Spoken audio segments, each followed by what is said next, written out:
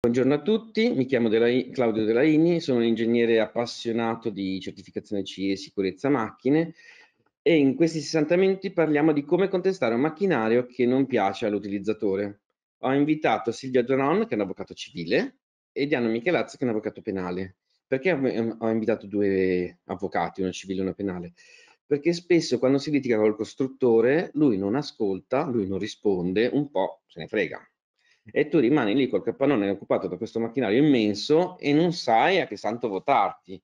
Chiami un perito come me per farti fare la relazione, ma quello fa orecchie al mercante.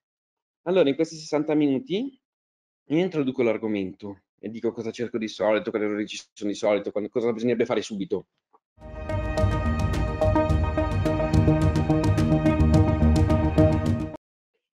E Silvia Zanoni e Diana Michelazzo ci raccontano gli strumenti che abbiamo in mano, che non vuol dire che funzionino in tutti i casi e sempre, sono gli strumenti a disposizione. Poi, caso per caso, bisogna analizzare se servono, se sono utili, se siamo nei tempi giusti. Perché c'è il dramma che spesso l'utilizzatore si accorge che la macchina non gli piace più qualche anno dopo. E non è detto che qualche anno dopo gli strumenti che abbiamo in mano siano ancora utili e utilizzabili. Apri i miei appuntini. Allora, come funziona? La storia inizia sempre che l'utilizzatore compra un macchinario sulla base di un'offerta e questa offerta gli promette che questo macchinario farà le mele bellissime. Poi viene installato il macchinario e queste mele bellissime non escono fuori, escono un po' maccate o non, non con le specifiche che gli hanno state dette oppure non con la produttività lì. In ogni caso, o l'attrezzaggio non è così veloce.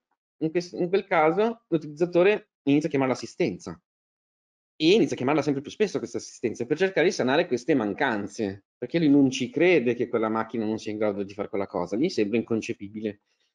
Il costruttore dall'altra parte si stufa perché vive il cliente come rompicoglioni, che non sistema mai le cose, che lo chiama in continuazione, che non lo paga regolarmente perché l'utilizzatore arrabbiato inizia a non saldare le fatture e inizia a litigare. E come funziona? L'utilizzatore inizia a far scrivere e il costruttore non risponde più. Oppure eh, l'utilizzatore continua a scrivere e il costruttore manda le ingiunzioni di pagamento. E quando si arriva a questo punto il rapporto è rotto. Quindi l'utilizzatore non ha più paura di rinunciare all'assistenza, non ha più quel legame di matrimonio che c'è utilizzatore-costruttore e decide di liberarsi di quella macchina lì decide che quella macchina lì non, non, non è più la sua macchina per il suo capannone e quindi fa guerra. E quindi chiama uno come me per dire mi dici cosa non va in questa macchina? E io cosa trovo di solito? Quali sono le due linee guida che bisogna seguire?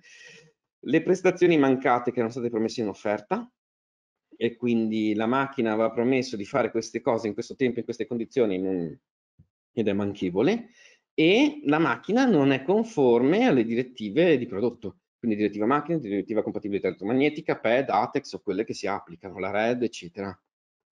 Il secondo caso è quello di cui parliamo in questo corso, quando usiamo la sicurezza di prodotto come argomento legale per rimandare indietro la macchina. Una macchina ti ha scontentato, non è che lo fai per non pagare un saldo, lo fai perché te ne vuoi liberare dalla macchina, perché se lo fai solo per non pagare il saldo, di solito non funziona.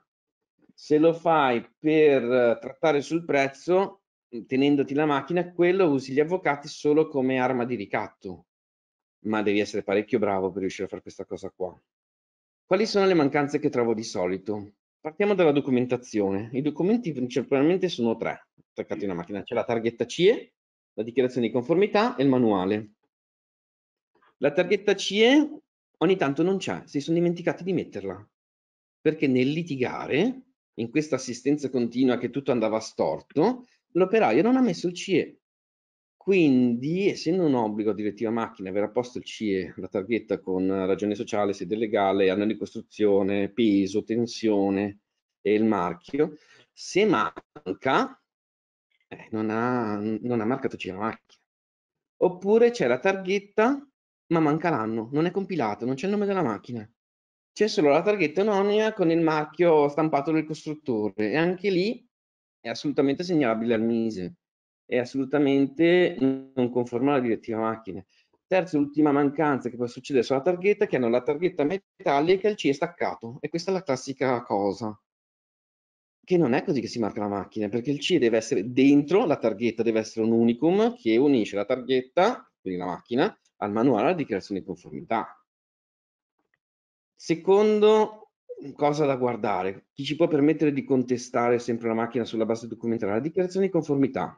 Il primo argomento che guardo subito è chi l'ha fermata può capitare che i costruttori facciano firmare la dichiarazione di conformità all'RSPP e l'RSPP non ha il potere di firma sulla dichiarazione di conformità perché lo può fare solo il datore di lavoro del costruttore. L'RSPP è il responsabile di sicurezza, prevenzione e protezione dell'81, non c'entra niente. Secondo errore, l'ha firmato un consulente. Il consulente non può firmare un insieme di macchine di dichiarazione di conformità, la, la dichiarazione di conformità la può firmare solo chi ha progettato, realizzato, immesso sul mercato o fatto la messa in servizio di una macchina. Il consulente non ha fatto nessuna di queste quattro cose. Quindi quel documento è stato firmato da una persona che non aveva il potere di firmare quel documento, quindi quel documento non è valido. Quindi la macchina non è correttamente marcata CE.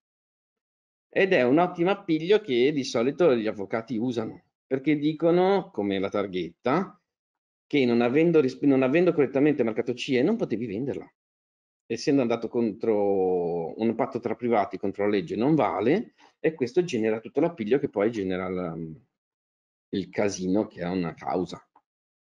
Eh, premetto, litigare costa, ci perdono tutti quando si litiga, però quando si litiga bisogna sapere che strumenti abbiamo in mano. Se si litiga senza conoscere gli strumenti ci si fa male di sicuro. Terzo argomento, il manuale. Il manuale è normalmente un copia e incolla di altri manuali. Il manuale normalmente è un canovaccio che tu usi per tutte le macchine e ci metti la foto della macchina venduta, per cui normalmente è non conforme. Quali sono gli errori tipici nei manuali che trovo delle macchine che sono in vendita che sono in giro? Che non dovrebbe rispettare il punto allegato 1, punto 174 la direttiva macchine, c'è un elenco puntato, tutti gli argomenti che il manuale dovrebbe trattare e quegli argomenti non ci sono. Qua ci sono degli esempi. Manca la dichiarazione di conformità all'interno del manuale. Dovrebbe esserci una copia della dichiarazione di conformità non firmata o i riferimenti delle normative applicate. Di solito non c'è. Dovrebbe esserci un capitolo che spiega come fare manutenzione alla macchina, non una manutenzione straordinaria, ma una manutenzione ordinaria. Perché è importante se manca la manutenzione ordinaria? Perché ti dicono che non puoi aggiustare la macchina quando si rompe e che quindi togli il normale uso alla macchina. Tu non avendo spiegato come aggiustarle in modo normale, eh, non hai reso abile il tuo cliente a usare, a usare la macchina in modo normale. E quindi è una cosa che inficia il contratto tra le parti. Un'altra cosa che manca sempre è mm, la descrizione generale della macchina che sarebbe questa macchina pensata per fare questa cosa in questo luogo con questa destinazione di uso. Completa la descrizione, di solito ci sono solo i disegni, ci sono solo gli schemi, ci sono solo l'elenco dei pezzi di ricambio, ma anche la descrizione generale della macchina si rifà all'offerta, che è assolutamente insufficiente. E quindi questa cosa qui fa cadere un po' tutta la struttura del manuale. E quando ti rivolgi al giudice tu gli dici ma non ha, mm, questo manuale è un copia e incolla di altri manuali, un manuale vuoto, non è un manuale che mi, mi aiuta a usare la macchina, è manuale solo formale per dire l'ho fatto. In ultimo, che mi ero dimenticato, la dichiarazione di conformità spesso e volentieri ha il difetto di citare norme sbagliate norme vecchie norme scadute. Faccio degli esempi. Ho visto dichiarazioni di conformità citare l'8108, che è la sicurezza sulle guide di lavoro, che non c'entra niente con le macchine gli oggetti. Ho visto non citare la direttiva ATEX in macchine che usano solventi, lavaggio dei metalli, e quindi non aver minimamente considerato il rischio esplosione fa mettere una bomba dentro il capannone. Ho visto usare norme tecniche scadute, ho visto eh, vendere macchine con tante dichiarazioni senza la dichiarazione dell'insieme, oppure vendere linee come un insieme quando invece erano tante macchine separate. E queste sono tutte non conformità che fanno credere, fanno immaginare, fanno vedere a un giudice, a un CTU, se, se nominano un perito, che quel costruttore non sa quello che fa. Quel costruttore non ha mai letto la direttiva macchine. Questa è la parte documentale. Poi si passa alla parte fisica. La parte fisica della macchina, sei lì, incidi con un manutentore un operaio che sa usare la macchina e inizi a intervistarlo e guardi una funzione alla volta e cerchi i RAS non rispettati più comuni, tipo gli spigoli vivi, gli organi in movimento che tu devi usarla mentre si muove, tipo l'intrappolamento che non ci sia nessuna via di fuga nel caso delle cabine, tipo rischio caduta dall'alto quando devi andare a regolare le serrande in alto in quota sulla macchina, tipo che non hanno pensato a come far fare le cose in sicurezza, le operazioni in sicurezza ai manutentori. Quindi tu dici, dalla parte documentale la macchina è carente, dalla parte funzionale la macchina è pericolosa, fai una perizia e la dai in mano all'avvocato civile, perché normalmente sono due binari, no? prima si comincia col civile, la controparte non ci crede che tu farai veramente quello che dici che fai, e, e poi magari si accende anche il penale. E qual è il problema? Che il can che abbaia non dorme, se tu minacci e basta, il costruttore non ti crede. Hai bisogno di fargli vedere che poi sei pronta ad azzannargli i polpacci o di dargli indietro la macchina. Solo che smontare una macchina non è come ridare indietro un bicchiere. Magari ci metti due giorni a smontarla, magari ci vuole un carico eccezionale prima di andarla indietro. E magari non puoi smontarla se, se ti aspetti di fare un, un, processo civile con CTU, ATP, periti che bisogna andare a vedere, farlo funzionare. Quindi è mezzo capannone utilizzato, mezzo capannone occupato. Quindi adesso passo la palla a Silvia Zanon, che è l'avvocato civile, che ci spiega come fa, come si fa, con, quali, quali strumenti abbiamo in mano. Ok, grazie Claudio. Eh, facciamo allora, mi riaggancio al tuo argomento per fare una premessa doverosa.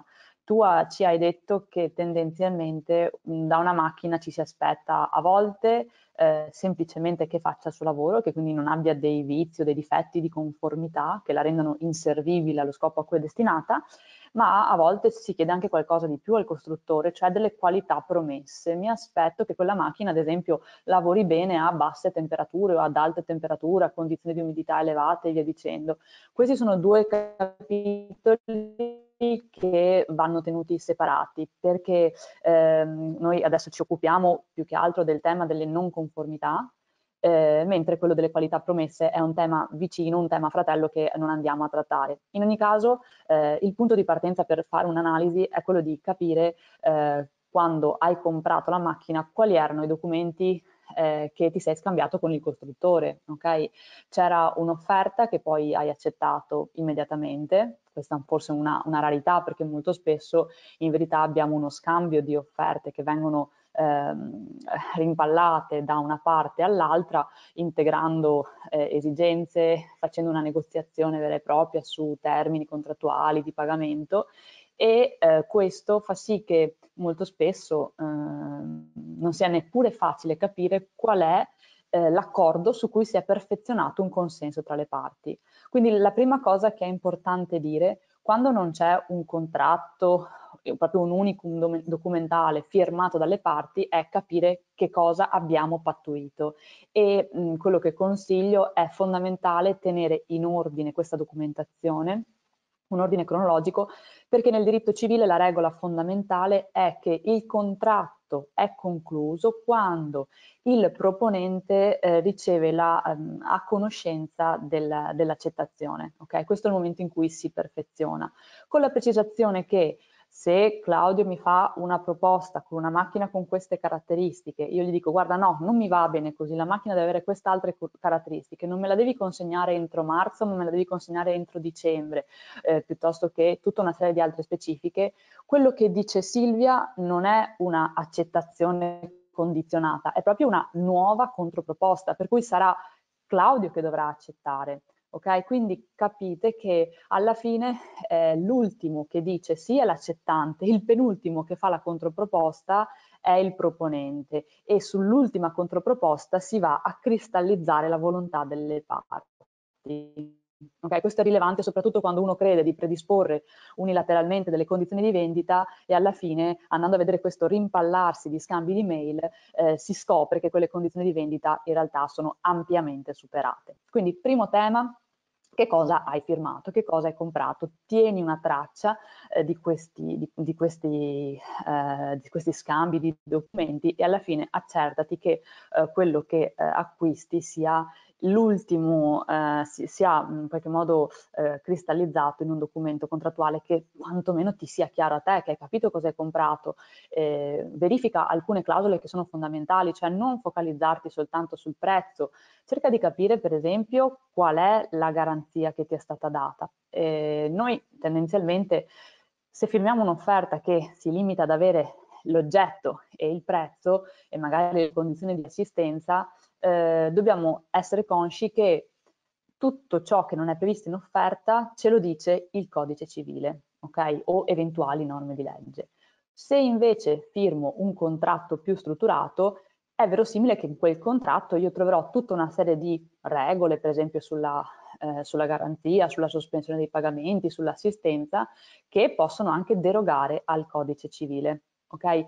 Quindi ehm, lo scenario può essere duplice. Ho un contratto, vado a vedere che cosa c'è scritto, cerco di capire quali diritti mi dà e quali diritti non ho. Non ho un contratto, beh lì adesso cerchiamo di capire se non ho un contratto così preciso, eh, quali diritti sorgono da questa compravendita.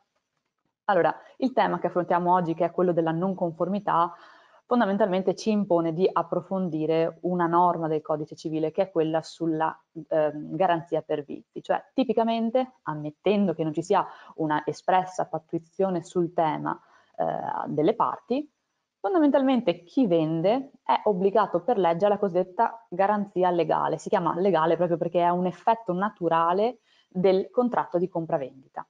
Okay?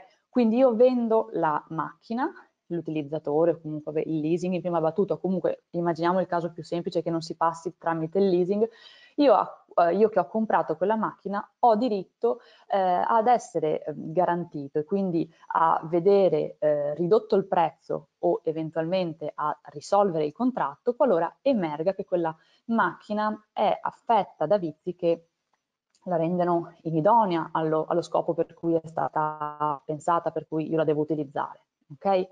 A questo punto l'aspetto eh, importantissimo da ricordare è che per far valere questi vizi io non ho un tempo infinito, ho un tempo molto ristretto, ovvero ho otto giorni di tempo da quando io scopro il vizio, se è un vizio occulto, oppure otto giorni da quando mi viene consegnata la macchina o è stato fatto il collaudo verosimilmente, per eh, denunciare questo vizio al costruttore. Okay? Se, non, se, non, denuncio entro questo termine, mh, mm, o, o, se magari molto spesso quello che accade è che inizio a fare le telefonate, magari passa una settimana, due settimane, ma sì, la faccio parlare con l'assistenza, viene fuori che io so che ho quel vizio da un mese, ma la prima contestazione formale fatta per iscritto, che è quella che poi mi può eh, provare il rispetto dei termini, la faccio molto tempo dopo, mh, mm, quando sono già passati quegli otto giorni. E quindi in un contenzioso è facile che controparte mi contesti che sono decaduta dal, mh, mm, dal termine per contestare il vizio. Questo è il primo termine. La seconda cosa che è importante sapere è che in ogni caso, se non abbiamo una, un contratto diverso tra le parti, una previsione diversa delle parti, eh, per poter mh, far valere la garanzia, io ho soltanto un anno di tempo, ok? Che decorre dalla consegna. Che cosa vuol dire? Che se è passato un anno da quando io ho comprato quella macchina, eh, potrei scoprire il vizio, potrei scoprire un vizio che emerge per esempio un anno un giorno dopo, potrei denunciarlo tempestivamente negli otto giorni di tempo, però comunque l'azione di garanzia si è prescritta quindi io non posso chiedere niente al, al mio uh, venditore. Questo forse è, la, è una delle ipotesi più frequenti che si possono verificare una delle ipotesi più frequenti che si possono verificare perché in macchinari estremamente complessi è verosimile che la scoperta del vizio avvenga anche uno o due anni dopo da quando il bene è stato consegnato. Quindi anche qui un primo suggerimento che possiamo dare è non appena io ho il sospetto che ci sia qualcosa che non funziona, non devo dormire sugli allori, cioè devo essere molto solerte, magari chiamare un tecnico, un perito che possa farmi un primo esame della macchina e possa dirmi no guarda stai tranquillo, è tipico su questo tipo di prodotto, piuttosto che guarda che secondo me hai preso un, non hai fatto un buon affare e quindi già sono allertato perché credetemi questi tempi sono veramente eh, estremamente ridotti. E ehm, ovviamente ci sarebbe da fare un'altra precisazione. Molto spesso accade che il cliente si rivolge all'avvocato quando ormai questo termine di un anno è già eh, spirato, è già scaduto. Quindi che cosa è stato poi stabilito dai tribunali? Cosa, qual è lo strumento che resta in mano all'avvocato per contestare il difetto di conformità? È uno strumento che porta un nome, un, un po' eh, altisonante, un nome latino che è il cosiddetto aliud pro alio. Che cosa vuol dire? Vuol dire ho comprato qualcosa al posto di qualcos'altro. Tornando all'esempio di prima, credevo di comprare una macchina che faceva mele tonde, me le fa quadrate. Quindi que quello che mi è stato consegnato è qualcosa di diverso eh, per natura, per consistenza, per destinazione rispetto a quello che io eh, ritenevo di comprare o comunque quello che mi aspettavo questo strumento è uno strumento eh, che non è una garanzia, è una, uno strumento che è stato creato dai nostri tribunali per dire che qualora il bene che tu hai comprato sia totalmente difforme da quello che era stato oggetto di accordo, allora anche quando sono eh, venuti meno i termini che abbiamo visto prima del, dell'anno dalla consegna, puoi comunque chiedere o la risoluzione del contratto o ehm, o meglio e o il risarcimento del danno. Quindi, eh, come diceva Claudio, sicuramente la strategia più tranchant, quella in cui dico guarda questa macchina mh, mm, non mi fa mele quadrate, io vendo mele tonde, porta pazienza, non me la posso tenere in casa. Quindi eh, quando io voglio prendere una posizione eh, devo prendere una posizione netta, perché se io continuo a tenermi in casa una macchina e comunque il prodotto che mi genera lo vendo, lo metto sul mercato, faccio un guadagno, diventa poi difficile sostenere che quella macchina è l'esatto opposto rispetto a quello che volevo. Quindi devo avere anche una coerenza nel comportamento. È sicuramente più coerente il comportamento di colui che dice ho comprato una macchina che non fa il suo dovere, io lì ci metto un nastro, la, eh, la, vado a segregarla in una parte del mio capannone e intanto mi compro l'impianto B, ammesso che io abbia posto dove metterlo, addirittura affitto un altro capannone per mettere la macchina che dis dismetto e la nuova me la tengo in casa che funziona bene, allora lì avrò la possibilità anche di dimostrare che ho avuto un danno, no? ho dovuto addirittura spendere qualcosa per smontarla, per stoccarla e l'azione ha una sua coerenza. Ok? Questo proprio per essere mh, precisi, perché eh, è, è, vero eh, che questo strumento del, dell'alio, il proalio, lo abbiamo in mano, è un'arma che si può utilizzare quando è tardi, però diventa difficile utilizzarla solo per, eh, per bypassare i termini deve, devo già agire con la consapevolezza che ho scelto un certo tipo di percorso, altrimenti poi anche sostenere certe tesi in giudizio è abbastanza difficile. E tornando su quelle eh, diciamo mh, difformità eh, documentali che ci ha eh, indicato Claudio, eh, vi posso già segnalare che certa giurisprudenza ritiene che l'assenza, ad esempio, della, della, marcatura CE piuttosto che l'assenza o la violazione di norme tecniche della direttiva macchine eh, possono costituire il presupposto per dire eh, ho comprato qualcosa che è totalmente diverso da quello di cui avevo bisogno, cioè mi serviva un macchinario che potevo immettere nel mercato, che, pote- che meglio, che io potevo utilizzare eh, legittimamente e invece ho qualcosa che non è minimamente conforme alla normativa vigente. Allora questo strumento può essere, può essere utilizzato. Ehm, un altro aspetto che, eh, a cui posso fare cenno proprio velocissimamente è che spesso mi capita di vedere tra le parti la stipula di contratti un po' borderline che vengono chiamati forniture posa in opera di un certo impianto, di un certo macchinario. Allora, preciso che questa fornitura e posa in opera è una terminologia estremamente pericolosa e eh, atecnica per il lessico giuridico, perché non consente di capire se io sto facendo un contratto di compravendita o un appalto. Quindi nel 99,9% dei casi con contratti di questo tipo io dovrò andare in giudizio a battagliare per spiegare che è un appalto piuttosto che una vendita. Allora, la differenza qual è? È che di solito se io riesco a provare che è un appalto, il termine per ehm, la prescrizione della garanzia nell'appalto è di due anni contro l'anno della vendita, quindi è più favorevole e la decadenza per la denuncia del vizio di 8 giorni della vendita sale a 60 giorni nell'appalto. Quindi in, in, alcuni casi la strategia che si cerca di seguire per rientrare in quei termini è dire guarda ehm, è vero che tu mi hai venduto un macchinario ma la componente di montaggio, di installazione, di eh, assemblaggio era decisamente maggiore, era decisamente più importante rispetto a quella del singolo materiale. Ecco, magari non, non accade facilmente nei macchinari industriali, però è una delle, delle tesi che si, che si vedono percorrere in tribunale. E quindi anche in questo caso, se vedete che mm, vi fanno firmare un contratto di fornitura e posa in opera, fatevi qualche domanda, cosa state facendo? State facendo una vendita o state comprando un servizio eh, in cui c'è anche la fornitura di alcuni pezzi? Perché le conseguenze sono mm, diverse sul piano pratico.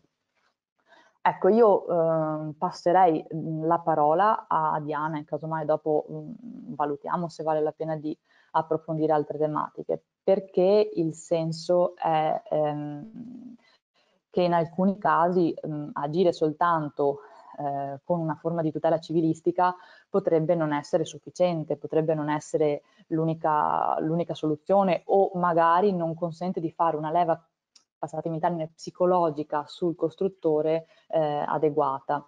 Eh, un'ultima precisazione, eh, sappiamo tutti che i tempi della giustizia sono molto dilatati, quindi nel momento in cui io dovessi riscontrare un vizio sulla mia macchina. Il primo suggerimento quindi è quello di muoversi tempestivamente con il, col mio tecnico, no? cercare di capire subito se è un problema mio che non la so usare, della macchina che è costruita male, se sono in tempo per contestarla al, al costruttore e quindi evitare di eh, stare lì a rimpallarsi le colpe o a fare un grande scambio di me, cioè, cerca, cerchiamo di essere pragmatici e andare subito al sodo, capire se quella macchina riesce o non riesce a fare il lavoro. E lo strumento che poi eh, aiuta nel processo si chiama accertamento tecnico preventivo o comunque consulenza tecnica preventiva, che è un procedimento, possiamo dire, veloce, eh, che consente di eh, fare una fotografia alla macchina, eh, fare proprio una eh, vera e propria ehm, perizia sulla macchina e eh, stabilire se quella macchina ha i vizi che io contesto, se fa il lavoro che io dico che non fa e viceversa. E questa fotografia diventa molto utile in tutti quei casi in cui io di quella macchina voglio sbarazzarmi. Se io la voglio smontare e togliermela dai piedi, eh, l'unico strumento che ho a disposizione per eh, fotografarla, fotografare l'inadempimento del costruttore e mh, cercare poi giustizia con i tempi della giustizia è questo eh, questo strumento dell'accertamento tecnico preventivo o comunque di una consulenza tecnica che potrebbe poi essere volta alla, ehm, ad una, una, transazione tra le parti, quindi un accordo che si trova al di fuori del, del tribunale. Ecco, passo quindi adesso la parola a Diana per la parte diciamo più eh, del, del penale. Grazie Silvia. Allora, premessa doverosa anche da parte mia, ehm, vista dalla, da, dal mio punto di vista. Dal mio punto di vista lo strumento civilistico rimane quello più adeguato e lo strumento della querela o comunque dell'attivazione di un procedimento penale che come vedremo però non dipende solo dalla nostra volontà, ehm, va usato in maniera accessoria, direi sussidiaria rispetto all'attivazione del procedimento civile perché rimane comunque imprescindibile. È vero, siamo tutti d'accordo che quando arriva la eh, letterina dell'avvocato che ti minaccia, come diceva giustamente Claudio prima, di fare qualcosa e poi ti do questo termine di 5 giorni e dopo 5 giorni non succede eh, assolutamente nulla, questo può ingenerare eh, da parte di chi riceve la, la diffida l'idea, tanto non farà niente neanche fra 6, fra 7 e probabilmente neanche fra 100 giorni. Quindi probabilmente ehm, cercare di fare un po' più, di fare presa su questo, su questo aspetto usando anche eh, gli strumenti penalistici potrebbe avere un senso. Potrebbe avere però più senso effettivamente, eh, direi più che altro a scopo di, chiamiamolo pressing, eh, passatemi il termine lo, per semplificare psicologico. Non, non credo purtroppo che possa essere lo strumento da solo risolutivo. E mh, per quale ragione? La sicurezza viene sempre eh, viene sempre, penalisticamente parlando, tirata in ballo quando c'è l'infortunio, è inutile che, eh, che, ce lo nascondiamo, ma quando succede l'infortunio, succede l'infortunio magari a causa della macchina, il problema è anche mio, non solo del costruttore. Quindi tante volte alzare la mano e dimostrare a un pubblico ministero o lo SPISA al quale ci, eh, ci, dovremo rivolgere per poi portare avanti le nostre istanze magari al pubblico ministero, se decidiamo di intraprendere eh, una strada più informale, diciamo, rispetto alla strada formale della, della denuncia querela, potrebbe anche essere una sorta di autogol. Perché dico questo? Perché se io sono un imprenditore e ho nel mio capannone eh, la macchina di cui discutevamo prima, che mi occupa mezzo capannone e non la posso smontare, non la posso restituire, devo lavorare, andare a dire che quella macchina non è sicura eh, comporta ovviamente eh, che io la devo fermare, io non la posso più utilizzare, quindi vado a crearmi anche automaticamente un danno dal punto di vista ehm, commerciale, produttivo direi, perché sto fermo non posso produrre e addirittura corro il rischio di, eh, se continuo a, continuare, se continuo a utilizzare la, la, la, macchina, che se qualcuno si fa male poi eh, passo anch'io dei brutti guai. Quindi qua bisogna stare molto attenti, bisogna capire quando è il caso di alzare la mano, come dico io, o quando invece è il caso di continuare a gestire la cosa ehm, parallelamente.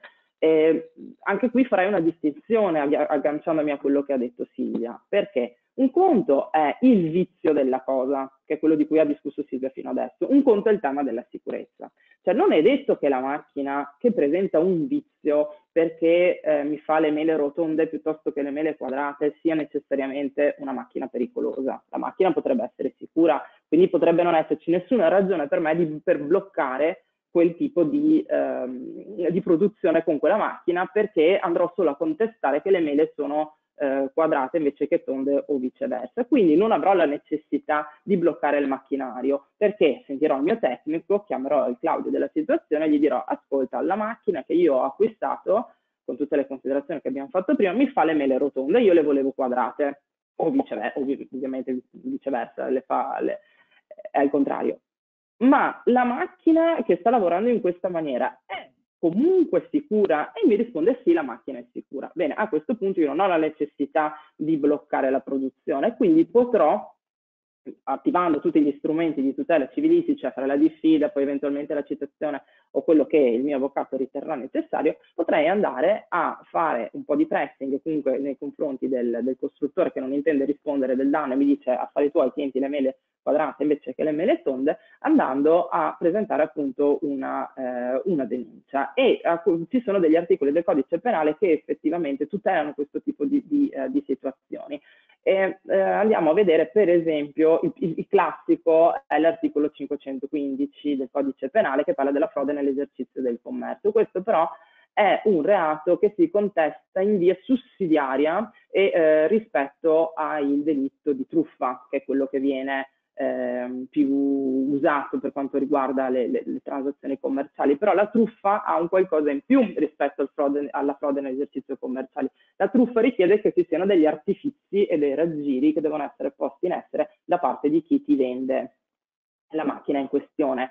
Ora bisognerà poi andare a dimostrare, e credo che questo possa essere un po' complicato, eh, salvo poi Claudio non si possa spiegare se ci sono dei modi per capirlo, eh, se dobbiamo dimostrare noi se il costruttore nel venderci, nel presentarci il prodotto che poi effettivamente dopo era diverso, ha posto in essere questi artifici e raggiri. Quindi se noi andiamo a vedere cosa ci dice l'articolo 515, che potrebbe essere probabilmente più utile, ci dice chiunque nell'esercizio di un'attività commerciale ovvero in uno spazio aperto al pubblico, non sarà ovviamente il nostro caso, consegna all'acquirente una cosa mobile per un'altra, ovvero una cosa mobile per origine, provenienza, qualità o quantità diversa da quella dichiarata o pattuita e poi eh, la norma continua con la sanzione. Ecco, in questo caso il fatto di fare delle eh, mele quadrate invece che le mele tonde potrebbe effettivamente essere un caso in cui mi è dato una cosa mobile, la macchina, che per qualità è diversa da quella che tu mi avevi promesso. Qua però bisognerà andare a discutere e vi assicuro che i casi sono estremamente eh, colorati e sono estremamente diversi l'uno dall'altro su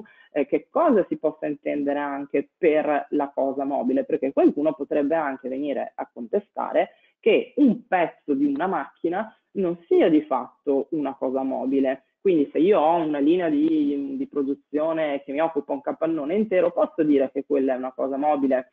Non lo so. Allora cosa posso andare a dire? Beh, però il, il problema, la difformità qualitativa eh, c'è solo su un pezzo, perché questa linea di produzione in realtà è fatta da più macchine messe insieme, allora posso provare a forzare un pochino l'interpretazione. Di fatto quando si fanno questo tipo di, eh, di querele poi bisogna porsi anche nell'ottica di andare a vedere esattamente che cosa dice la norma e cercare di capire se ci sono anche degli altri casi, quindi se c'è della giurisprudenza che può confortare questo tipo di, questo tipo di scelte. Un altro tipo di, ehm, di, reato che può venire, che può tornare utile ai fini di, di contestazione, però è più mh, riferito a un caso specifico, è il 517 che prevede la vendita di prodotti industriali con segni mendaci. Allora qui si apre tutto il tema poi anche eh, di come hai ingannato il tuo compratore sull'origine, sulla qualità di quel prodotto. Quindi ne, anche qui bisogna poi ehm, diciamo, spiegare bene all'interno della querela cercando di ehm, riportare all'attenzione del pubblico ministero affinché sia eh, si è invogliato a portare avanti l'azione penale per questo, tipo di, per questo tipo di contestazione, cercare appunto di spiegare esattamente in che cosa consiste eh, questa difformità, quindi eh, la querela a mio avviso va scritta già con l'aiuto di un tecnico, cioè io eh, mi, mi faccio affiancare da il perito della situazione, il tecnico della situazione, che mi spiega da subito dov'è il problema, in modo che io possa spiegare poi al pubblico ministero che verosimilmente non ne sa nulla di macchine e che probabilmente fino al giorno prima si occupava di reati contro il patrimonio e deve capire se portare avanti o meno questo, questa contestazione. Ecco. Altro, ehm, altri reati utili, io dico utili, non è sono i reati utili, insomma articoli del codice penale che possono essere utili nella, nella contestazione al produttore potrebbero essere la, la, il 473 e il 474 che si riferiscono più propriamente alla contraffazione, all'alterazione e all'uso dei marchi uh, o segni distintivi e qua c'è tutto il tema della marcatura CE, di come usi il marchio CE. Prima che ci collegassimo parlavamo con Claudio di un caso, di una sentenza che leggevo questa mattina dove eh, l'inganno era riferito al marchio CE perché c'era una, una, una, partita di occhiali che era stata venduta dove il marchio eh, CE era stato spacciato per il marchio di conformità, in realtà voleva dire China Export. Eh, quindi ci sono anche tutti questi casi da, da, da, da andare a, ad, ad analizzare. C'è però un tema processuale eh, importante che è il fatto della procedibilità. Quindi tutto quello che abbiamo detto fino adesso, ovvero sì, potrebbe essere utile fare tutto ciò per, per fare un po' di pressing nei confronti della nostra controparte, per indurla a trovare un'altra, a scendere a compromessi, piuttosto che instaurare una produttiva commerciale volta alla riduzione del prezzo senza andare in causa e aspettare 5 anni, 6 anni perché finisca la causa civile, il tema è la procedibilità d'ufficio di questi reati. Cosa vuol dire? Vuol dire che può essere eh, che non serve la querela di parte e anche se io presento la querela, come abbiamo detto fino ad oggi, e poi decido di ritirarla perché mi sono accordato con la controparte, il procedimento va avanti lo stesso. E quindi eh, questo tema del pressing psicologico mi torna, eh, diciamo, mi si ritorce contro perché io ho instaurato o, anzi non ho instaurato perché è il pubblico ministero che decide se ehm, portare avanti l'azione penale, io ho dato impulso eh, dicendo al pubblico ministero, manifestando, raccontando al pubblico ministero che cosa è accaduto e, che, e appunto il fatto di essere stata vittima di questa frode nell'esercizio del commercio se decideremo di contestare il 515 piuttosto che, che, che un'altra norma che riterremo utile, eh, però eh, poi se ci accordiamo io decido di ritirare la querela, il pubblico ministero ritiene che io effettivamente sia stata vittima di quel reato, il processo va avanti. Quindi potrebbe addirittura essere un rimedio peggio del male perché mi va a bloccare la, la, la, la famosa trattativa di cui ci parlava Silvia prima. Quindi diciamo che i rimedi vanno eh, sempre eh, gestiti con un occhio di riguardo, bisogna capire quello che vi consiglio assolutamente per esperienza e capire con chi abbiamo a che fare dall'altra parte, perché un conto se ho il mega colosso mh, diverso che, che, che probabilmente capito, riceve una quantità quantità infinita di lettere di contestazioni all'ufficio legale ehm, pronto a rispondere con, in maniera abbastanza standardizzata o non rispondere affatto, oppure non ha nessun interesse a eh, affrontare dei procedimenti penali perché appunto ha la squadra pronta o comunque sa che il danno che ne deriverà, perché poi di fatto bisogna anche andare a vedere effettivamente quanto male poi fa eh, nella sostanza questo tipo, di, questo tipo di azione, insomma bisogna andare a vedere se ne vale veramente la pena, quindi capire se può effettivamente far breccia eh, dall'altra parte, altrimenti attenzione potrebbe essere in realtà pericoloso. È evidente che il tema della sicurezza in realtà eh, esce in maniera preponderante nel penale nel momento in cui c'è l'infortunio, cioè non nascondiamoci, è ovvio che una procura che appunto, eh, ripeto, è l'ente che deve, è, che, è, la, è, la, è, il pubblico ministero che decide se andare avanti. Il fatto che noi presentiamo una querela al pubblico ministero non vuol dire che dopo lui la ritenga eh, adatta per seguire eh, l'azione penale. Potrebbe benissimo darsi che quella querela muoia sulla sua scrivania e non abbia poi nessun seguito. Quindi anche lì eh, il tema del tempo eh, può essere che questa cosa parta fra tre anni eh, o comunque entro i termini di prescrizione del reato. A volte partono anche quando i reati sono già prescritti, quindi capite che purtroppo non, è, non possiamo dire che neanche questa sia la soluzione più, più, più, più veloce e, e, più efficace, dipende veramente dalle situazioni, dipende anche territorialmente dove mi trovo, dipende da che procura, eh, quanto è attiva quella procura, se ci sono dei magistrati eh, che si occupano molto di questo tipo di, eh, di materie, quindi hanno più attenzione e più diciamo, sì, dedizione ad occuparsi a questo, tipo, a questo tipo di attività, perché appunto tendenzialmente viene sempre riservata il della sicurezza quando si manifesta l'infortunio, ma per noi è troppo tardi quando c'è, quando c'è l'infortunio. Un'altra via potrebbe essere quella di passare la palla allo SPISAL ehm, e come? Anche qui, eh, stando bene attenti, perché se io so di avere una macchina appunto che ha dei vizi è un discorso, se io so di, avere, di, non, di avere in casa una macchina che non è sicura e non la fermo, sono guai nel momento in cui viene lo SPISL, è evidente che rileverà il, il problema e mi farà la prescrizione del 758, quindi eh, ripeto, è sempre il cane che si morde la coda.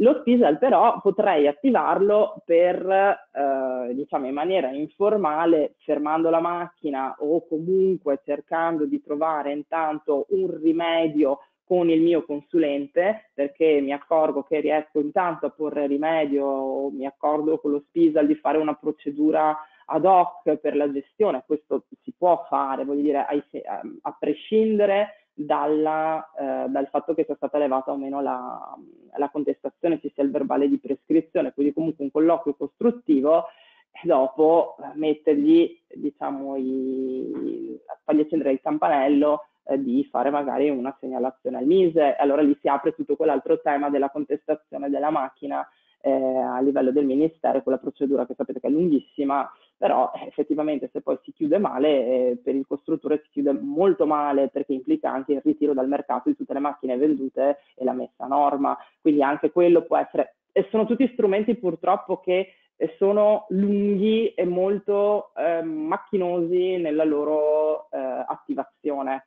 Eh, capisco che la diffida a volte rimanga nel cassetto e non faccia paura, non è detto che neanche questa però sia effettivamente la via, la via più veloce. Ultimo tema, giusto perché era mh, nella scaletta, è giusto farne riferimento, questi reati di cui abbiamo parlato, 515, 517 in particolare, sono rientrati nel novero della, de, dei reati presupposti della 231. La 231 sapete la responsabilità amministrativa eh, degli enti che comporta in caso di eh, accertamento di questi, di, di questi reati anche l'imputazione, passatemi il termine, non, della, della, società, quindi dell'ente, ed anche quello implica che la, ovviamente non si può parlare di responsabilità penale perché la responsabilità penale è personale, tu non puoi eh, incolpare una, una, società, quindi c'è questo meccanismo della 231, ma, ma non è il tema della giornata, però probabilmente gli addetti ai lavori sapranno quantomeno di cosa stiamo parlando, in questo caso anche qua andare a smuovere le acque e creare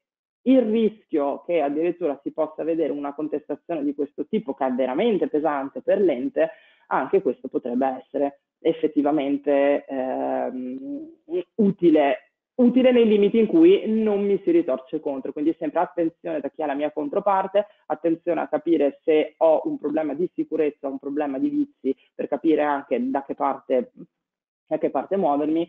Se poi ci fosse addirittura un artifizio, un raggiro, riesco a capire con il mio consulente di essere stato completamente fregato da parte del costruttore, potrei anche eh, pensare di eh, querelarlo per truffa. In quel caso poi c'è anche la procedibilità a querela, salvo che non ci siano delle aggravanti che non sono del caso, e quindi là lo strumento diventa, più, diventa forse più, più efficace. Però a mio avviso è un po' tirata come interpretazione, forse le altre norme sono un po' più attinenti, un po' più specifiche, forse possono essere eh, degne di maggiore, di maggiore, attenzione da parte del, dell'organo inquirente. Bon, Io ringrazio, direi che...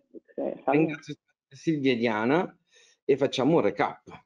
Facciamo un attimo, in attesa se arrivano delle domande. Mi è arrivata una domanda su via WhatsApp, me l'hanno mandata questa volta perché, il mondo, perché ormai domande mi arrivano in tutti i modi. Eh, bisogna, mi hanno chiesto di fare un accenno a come funziona la segnalazione al Mise. La segnalazione al Mise funziona che l'azienda utilizzatrice, un perito, può fare una relazione in cui dice io vedo oggi 25 marzo 2020, 2021, scusate, la macchina in questi luoghi in compagnia di, faccio l'analisi dei RES, dico tutte le mancanze, faccio l'analisi dei RES anche documentaria, dico tutte le mancanze, mandiamo una bella raccomandata al Ministero dello Sviluppo Economico, che è l'ente di controllo sulla conformità dei prodotti e poi io non so più niente. Eh. La, la, la, il MISE si attiva, se, se mi prende sul serio si attiva, mando una lettera a sua volta, una raccomandata al costruttore in cui dice mi sono stati contestati questi RES, dimmi come li hai gestiti, dammi l'elenco delle macchine vendute uguali a quella segnalata, il costruttore risponde e il Mise legge la risposta e può fermarsi lì o può dire no, non mi va bene e manda degli ispettori a vedere la macchina a caso sulla lista segnalata. Non per forza chi ha fatto la segnalazione, a caso sulla lista segnalata. E in questo caso, se valutano che la macchina è realmente pericolosa, si aprono due strade. O rimetterle tutte a posto, o ritirarle tutte dal mercato. E qua si apre un ginepraio, perché tutti gli utilizzatori che hanno la macchina segnalata, che si, devono, si trovano in casa l'ente di controllo e si trovano le macchine ferme, poi a loro volta potrebbero fare richiesta danni perché hanno comprato una macchina che non andava bene, eccetera, eccetera. Questa cosa qua l'ho vista succedere un paio di volte, ma il MISE è una cosa lentissima. Quando invece interpelliamo lo SPRESAL, lo SPISA, la, l'ATS, l'ULS, l'ASL, a seconda della regione cambia nome, è un disastro sta cosa del WOPSAL, l'ente di controllo sulla sicurezza dei luoghi di lavoro, a seconda dell'UPG, a seconda dell'ufficiale con cui parlo, la risposta cambia. Il primo timore che ha l'UPG della TS è di quello di dire io non faccio consulenza, io non vengo lì a pagamento a dirti che la macchina non va bene. Io non, non, non posso essere figurare come uno che prende la mazzetta per venire a dire che la tua macchina non va bene. Lui dovrebbe venire lì, vedere la macchina che va farti il divieto d'uso e farti il 754 per come sistemarla. Ma tu se stai azionando attivando un'azione penale, non puoi dire che la stavi usando. La macchina non dovevi usarla. È vero che se hai delle relazioni informali con loro, una strada la trovi, magari la segnalazione la fanno anche loro. Magari loro vanno a trovare una macchina simile da, presso un concorrente e lì si apre, però quelle sono altre strade, quelle, le strade informali, non, non le, siccome non sono ufficiali, dipende sempre da altre vie. Dalle relazioni. Sì, dalla relazione personale, l'autorevolezza che hai, quanto ti credono, eccetera, eccetera. Il civile. Il civile funziona o non funziona? Il problema del civile è che è lento e tutti i costruttori di macchine lo vivono come una rogna perché spendi un sacco di soldi in avvocati, ma raramente hanno timore poi di perderlo perché è sempre una, una lotteria. Motivo per cui tutti abbiamo le armi spuntate. L'unica vera arma è dire io la macchina non la uso più, te la riprendi indietro, la macchina è pericolosa per questi principi qua, tu mi hai venduto una macchina promettendomi le mele, mi fa bicchieri, fai un pacchetto unendo le vostre due competenze e lì l'ho visti i soldi tornare indietro, lì ho visto annullare i contratti, lì ho visto cambiare le carte in tavola, però deve esserci una coerenza tra quello che io sto minacciando e quello che faccio. Non deve essere che io abbaio e poi non faccio niente, però non deve essere che io dico che non la uso e poi in realtà la uso. Perché con Industria 4.0 si vede che la sto usando. Adesso le macchine sono interconnesse. E quindi se io faccio tutto questo casino per, pagare per avere uno sconto, poi in realtà la macchina la uso, tutta la credibilità del procedimento civile scende un po', perché poi verranno depositati gli atti in cui si vede che la macchina veniva usata. E quindi se veniva usata non faceva così tanto schifo. Quindi questo qua è il contesto. Gli strumenti sono utili se usati bene. Gli strumenti sono utili se contestualizzati in una situazione. Perché se io ho la macchina A che non mi fa contento e ne compro una B che mi fa contento e la smetto di usarla e la in un altro capannone, lì, no, lì non hanno scampo i costruttori perché si vede che ne ho comprato un'altra, si fa la differenza tra le due macchine, si vede come la seconda macchina è più sicura della prima, si fa e lì il costruttore della macchina A con la segnalazione diventa tutto più credibile. Bisogna avere soldi infiniti. Sì. Claudio, anche qua io volevo fare una precisazione, se me lo consenti, perché avevamo detto che avremmo parlato un attimo anche della, dell'aspetto in cui c'era di mezzo il leasing, quindi sì. um, sempre a, a, a ragione di questa coerenza di cui stiamo parlando, è importante segnalare che a maggior ragione nel caso in cui io quella macchina la sto eh, utilizzando, perché ce l'ho in locazione dal, dal leasing, eh, io so che ho sempre un interlocutore ulteriore rispetto al costruttore. Quindi attenzione, se la macchina presenta un vizio che è un difetto, un problema che è immediatamente riconoscibile appena quella macchina mi è entrata in casa, me l'hanno consegnata, me l'hanno assemblata e io vedo quel problema lì, io lo devo segnalare immediatamente al costruttore e anche al leasing e questo eh, va sottolineato perché impone a chi compra la macchina di essere un po' avveduto, cioè fate tesoro di, queste, di questi piccoli spunti che ha dato Claudio anche in merito a quelle grossolane non conformità che voi mi trovate sulla macchina, perché è difficile dire eh, dopo sei mesi, to, mi sono accorto che la targhetta CE non c'era, cioè la targhetta è una cosa che si vede nell'immediato se io so che devo cercarla, eh, non è che mi accorgo per, dopo sei mesi perché mi ha detto il consulente, cioè non ti serve il consulente tecnico per andare a cercare la targhetta e vedere se è compilata propriamente, quindi quello è uno di quei vizi, uno di quei difetti che assieme per esempio a un manuale eh, del, tutto, del, tutto, inidoneo piuttosto che a una dichiarazione di conformità mancante, io devo essere tempestivo nel, nel, nel rilevarlo e eh, tanto più se c'è leasing di mezzo devo subito contestarlo. Un'altra cosa importante che non ho detto prima è quando io faccio la contestazione della, della macchina, quindi scrivo, vi, vi, consiglio sempre di scrivere di là che dopo siate tutto il giorno al telefono con l'assistenza del, del costruttore, scrivete sempre formalmente quantomeno la la prima richiesta, la prima ehm, contestazione, che deve essere circostanziata, non può essere generica, non posso eh, stare vaga, o meglio, se non ho ancora ben capito qual è il problema della macchina, posso farmi riserva di andarlo a determinare in un momento successivo quando il mio tecnico mi avrà fornito la consulenza, però eh, devo circostanziare il difetto che riscontro.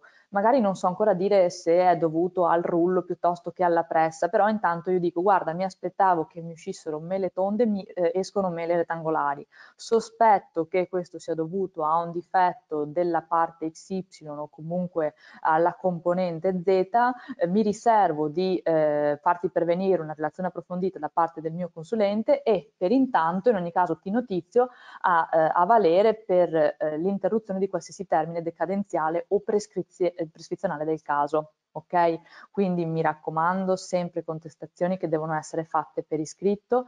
Se c'è il leasing di mezzo, ovviamente nel caso di vizio immediatamente riconoscibile, lo comunico tempestivamente. Se invece del vizio me ne accorgo dopo, lì ehm, come rapportarsi con il leasing dipende un po' anche dal tipo di contratto che ho con lui, quindi sarebbe importante vedere il singolo contratto che hai, hai stipulato con il leasing, perché in alcuni casi i leasing dicono eh, guarda tu utilizzatore, veditela direttamente con il costruttore e poi mi fai sapere. Altri leasing invece dicono no, eh, la strategia la concordiamo assieme e quindi ci muoviamo assieme, pure che mh, le, le, le, situazioni cambiano poi da leasing a leasing e quindi lì diventa interessante e utile vedere anche il contratto che è stato firmato con, con chi vi ha fatto il finanziamento.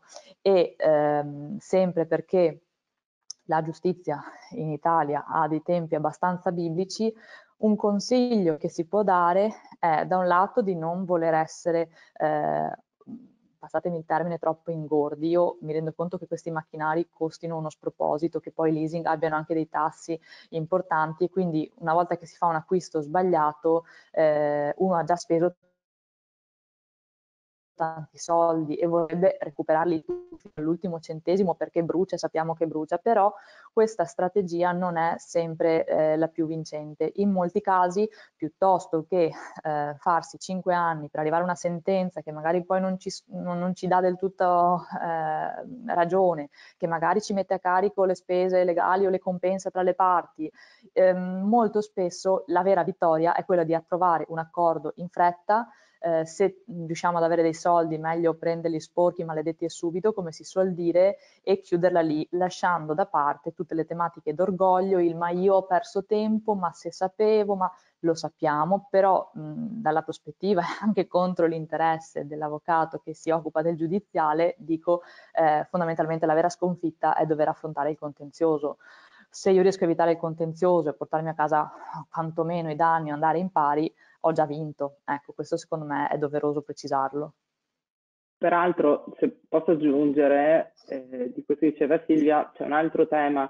Eh, io ho una sentenza tra 5 e 7 anni, non è detto, e vinco magari anche completamente, non è detto che la mia controparte esista ancora o abbia i soldi per pagarmi, perché esiste anche questa possibilità. Quindi non è detto che io oggi inizio un contenzioso e, e, e, mi trovi alla fine ancora qualcosa, perché non me ne faccio niente di una sentenza che mi dà ragione su tutti i fronti e magari eh, condanna la mia controparte a un cospicuo risarcimento e dopo la mia controparte non ha nulla con cui pagarmi e io non posso andare a aggredire niente perché questo nel mentre non ha più nessun, nessun patrimonio. Quindi c'è anche questo aspetto da valutare rispetto alla convenienza della, de, della transazione.